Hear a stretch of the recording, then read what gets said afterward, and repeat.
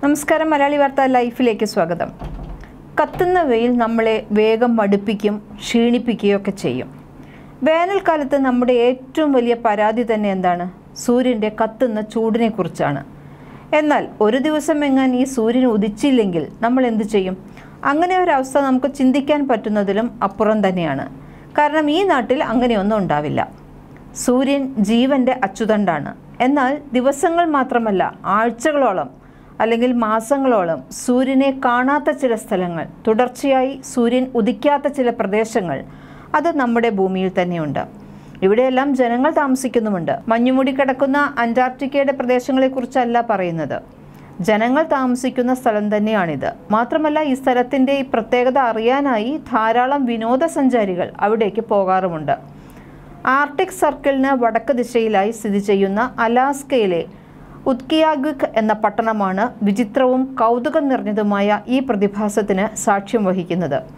രണ്ടായിരത്തി ഇരുപത്തി മൂന്ന് നവംബർ പതിനെട്ടാം തീയതി ഈ വർഷത്തിലെ അവസാനത്തെ സൂര്യാസ്തമയം അവർ കണ്ടുകഴിഞ്ഞു. ഇനി അലാസ്കൻ നഗരമായ ഉത്ക്യാഗിക്ക് രണ്ട് മാസത്തേക്ക് സൂര്യനെ കാണില്ല. പോളാർ നൈറ്റ് അഥവാ ധ്രുവരാത്രി എന്നറിയപ്പെടുന്ന ഈ പ്രതിഭാസം ഈ നാട്ടുകാരെ സംബന്ധിച്ചിടത്തോളം വളരെ സാധാരണമായ ഒരു സംഗതിയാണ്. പക്ഷെ പുറത്തു നിന്നുള്ളവർക്ക് ഇത് തീർച്ചയായും കൗതുകം തന്നെയാണ്. നേരത്തെ ബാരോ എന്നാണ് ഈ സ്ഥലം അറിയപ്പെട്ടിരുന്നത്. ഇപ്പോൾ അത് ഇരുട്ടിന്റെ നാളുകളിലൂടെയാണ് കടന്നുപോകുന്നത്. ഈ വർഷത്തെ അവസാനത്തെ സൂര്യാസ്തമയമാണ് നവംബർ പതിനെട്ടിന് ഉണ്ടായത്. പിന്നീട് ഇങ്ങോട്ട് ഇപ്പോഴെല്ലാം അവിടെ ഇരുട്ടാണ്. ഭൂമി അതിന്റെ അച്ചുതണ്ടിൽ ഇരുപത്തി മൂന്നര ഡിഗ്രി ചെരിഞ്ഞിരിക്കുന്നു എന്നത് നമുക്ക് അറിയാവുന്ന കാര്യമാണ്. ഭൂമിയുടെ അച്ചുതണ്ടിന്റെ ഈ ചെരിവ് കാരണം എല്ലാ വർഷവും ശൈത്യകാലത്ത് അലാസ്ക ഇരുളിലേക്ക് പോകും.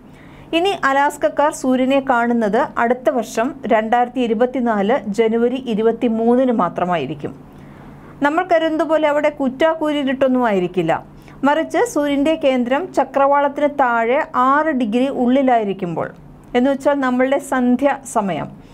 ആ സമയത്തെ ഉള്ള ഒരു കാഴ്ചയാണ് അവിടെ ഉണ്ടാകുന്നത്. സിവിൽ ട്വിലൈറ്റ് എന്നാണ് ഇതിനെ പറയുന്നത്. മണിക്കൂറുകളോളം ഇത് നീണ്ടു നിൽക്കുന്നതിനാൽ നഗരം പൂർണമായും ഇരുണ്ടതായിരിക്കില്ല. ഈ സമയം രസകരമായ ഒന്ന് തന്നെയാണ്. കാരണം കത്തുന്ന വെയിലില്ല. ഒരു സന്ധ്യാ സമയത്തെ പ്രതീതി അല്ലെങ്കിൽ പുലർന്നു വരുന്ന സമയത്ത് ഉള്ള ഒരു വെളിച്ചം അവിടെ ഉണ്ടായിരിക്കും. ധ്രുവപ്രദേശത്തോടെ ഏറ്റവും ചേർന്ന് കിടക്കുന്ന മനുഷ്യവാസമുള്ള പട്ടണമാണ് ഉദ്കിയാഗുഖ്.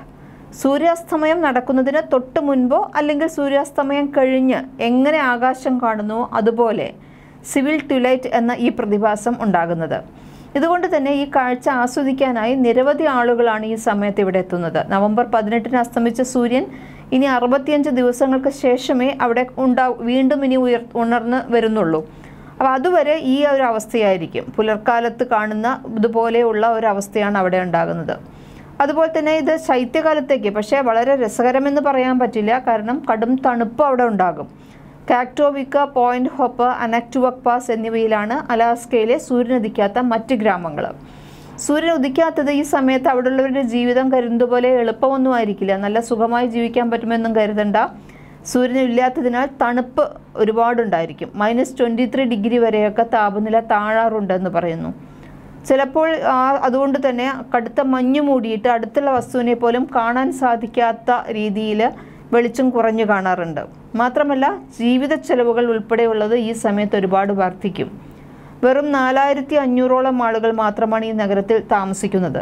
ലോകത്തിലെ കാലാവസ്ഥാ മാറ്റങ്ങളുടെ ഗ്രൗണ്ട് സീറോ എന്നും ലോകത്തിന്റെ മേൽക്കൂര എന്നുമെല്ലാം ആളുകൾ ഈ ഉദ്ഗ്യാഗ്യുഖ് എന്ന ഈ പ്രദേശത്തിനെ വിളിക്കുന്നുണ്ട്. മുൻപ് ഈ പ്രദേശം ബാരോ എന്നാണ് അറിയപ്പെട്ടിരുന്നത്. വടക്കൻ അലാസ്കയിലെ മറ്റിടങ്ങളിലും ഇതേ പ്രതിഭാസം സംഭവിക്കുന്നുണ്ട് എങ്കിലും ഇത്ര ദിവസങ്ങൾ നീണ്ടു നിൽക്കാറില്ല. അതുമാണ് ഈ പ്രദേശത്തിന്റെ പ്രത്യേകത. ഉത്കിയാഗ്യുക്ക് എന്ന ഈ പട്ടണത്തിന്റെ പ്രത്യേകത വളരെ നീണ്ട ഒരു രണ്ടര മാസത്തോളത്തിലധികം അവിടെ വെയിലുണ്ടാകില്ല. ഇവിടെ താമസിക്കുന്നവർ പ്രകൃതിയുടെ ഈ വികൃതിയോട് ഇണങ്ങിക്കഴിഞ്ഞവർ തന്നെയാണ്. സൂര്യൻ അസ്തമിക്കുന്ന ദിവസം എല്ലാവരും വളരെ ഗംഭീരമായി ആഘോഷിക്കും.